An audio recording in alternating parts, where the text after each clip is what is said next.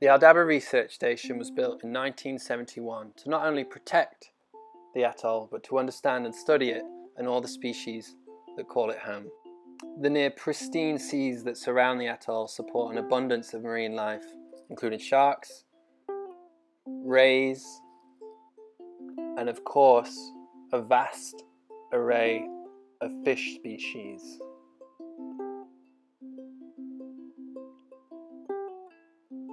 The atoll is also home to one of the largest nesting green turtle populations in the western Indian Ocean and one of the largest frigate bird breeding populations on the planet.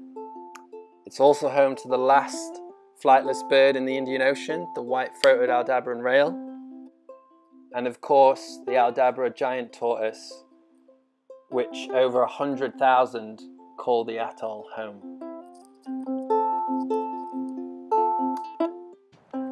So we've been researching the tortoises since the station was created and really monitoring their population dynamics and how recruitment and they change over time. We've also been monitoring the plants for nearly 50 years and looking at the phenology, so when they fruit and when they seed, when they're in leaf, etc. And of course, we've also been monitoring the turtles by counting the turtle tracks, and that's allowed us to understand how the population has recovered since 1971. But none of this research could be completed without the support of our dedicated logistics team, which not only transfers around the atoll in the boats, but of course have to maintain them, and the harsh conditions out here mean that there's always maintenance to be done on the boats, regardless of the season. And then maintaining the station itself takes a lot of work, and there's repairs almost always ongoing. And as you can see here, the guys are changing the roof around and repairing the Aldabra shop. The research station has been in the same location since it was first built. A few of the buildings have been replaced, and as you can see, we've moved to almost 100% solar energy now. But let's take a little tour of the station so we can get a better understanding of what it's like. So here we are, you can see Bumboat, which is one of the first boats that came to Aldabra with the Royal Society. These are some of the accommodation houses. Our mechanic and one of our field research officers live in these two. You've always got to watch out for the giant tortoises as they are everywhere. This is our garden, which is actually one of the oldest buildings. It predates the research station. And in there we grow peppers, tomatoes, aubergines. Here we have some more accommodation. This is actually our gym. And there's another communal kitchen in there. We have a few more houses here. And as you can see, it's quite a long walk for people to get to work who live down that end of town. So let's speed it up a bit. Here's our volleyball court and our football pitch. As staying fit and healthy is very important even on Aldabra. Then we have some more accommodation here on the left. And on the right, we have our fish shed where we clean our fish after going out and trying to catch some. This is more accommodation on the left. Let's speed it up a bit. So here's the boat shed, but let's just pop round the back and see where we sort out all our waste. So everything's separated on Aldabra into different drums because we try to be as sustainable as possible. So we've got glass, plastics, miscellaneous stuff there. We also have aerosols, PET bottles, and aluminium cans.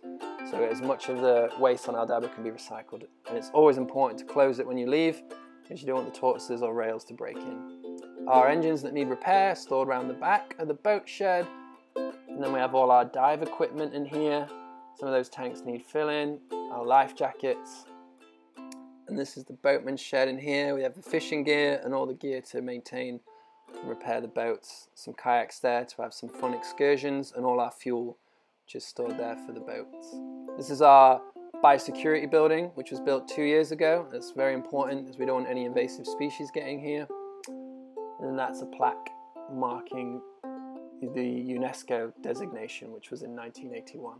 It's UNESCO World Heritage Site. This is the mess, our communal eating area with our communal kitchen.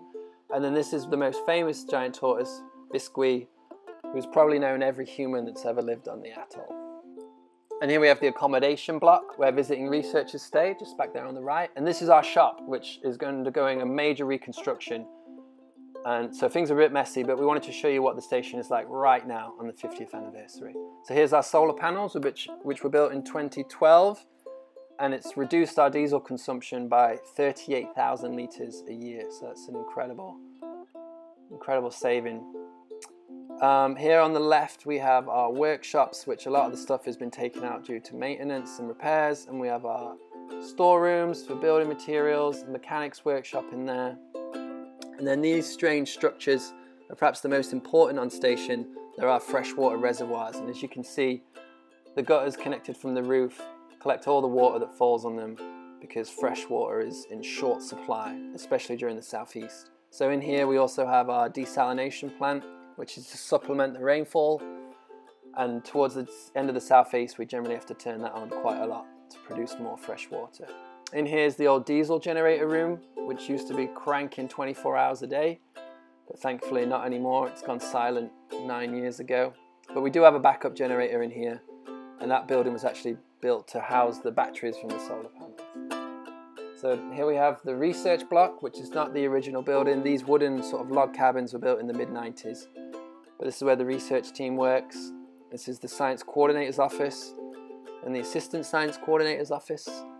That's our view, but unfortunately the cameraman didn't stop very long. And in here is our library, all our books to do our research and study. So we're almost at the end of the station now. We've got our rain gauge and weather station just there on the left. And up here, this little building with the solar heater is actually our laundry room. So that's another very important building. Here you can see the island manager sat on the steps of his house. And then cruising down to the last building on station is the science coordinator's house. And of course the reservoir attached to it. So that's the station tour.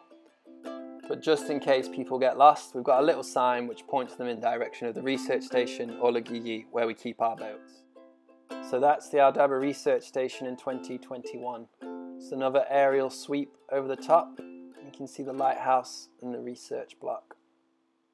Here's to another great 50 years of research and community building on this beautiful atoll.